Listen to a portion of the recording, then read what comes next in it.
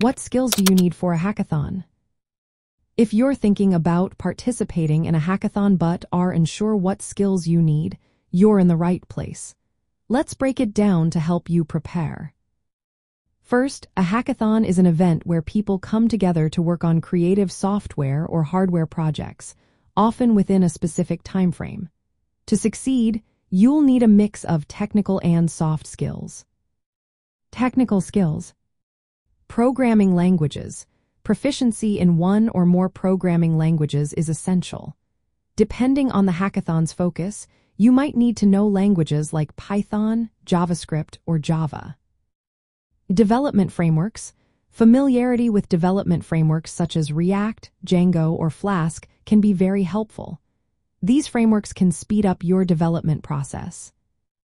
Data analysis and visualization. For data-focused hackathons, skills in data analysis tools like Pandas, NumPy, and visualization libraries such as Matplotlib or Seaborn are crucial. Cloud services. Knowing how to use cloud coding environments like AWS, Google Cloud, or Azure can be beneficial. These services often provide pre-configured environments that can save you time. Soft skills. Communication. Being able to communicate your ideas clearly is vital. You'll need to explain your project to teammates, judges, and possibly even to a larger audience. Teamwork. Hackathons often involve working in teams, so the ability to collaborate and contribute to a group effort is important. You'll need to be able to share your skills and learn from others. Problem solving. The ability to focus on solving a specific problem within a limited time frame is key. You need to be able to prioritize tasks and manage your time effectively. Adaptability. Things don't always go as planned. Being able to adapt to changes, troubleshoot issues, and seek help when needed is crucial.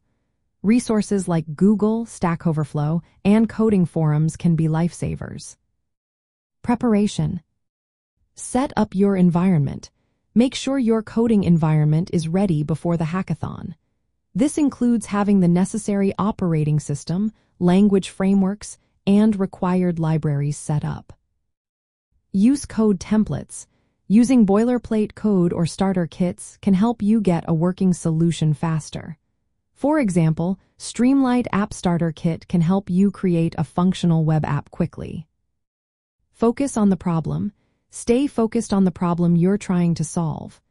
Avoid getting too caught up in details and remember that a finished project is better than a perfect one.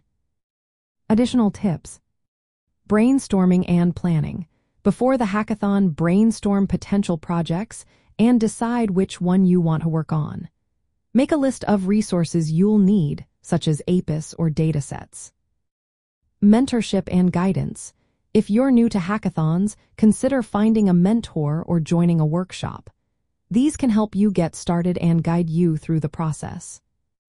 By combining these technical and soft skills and being well prepared, you'll be in a great position to succeed at a hackathon.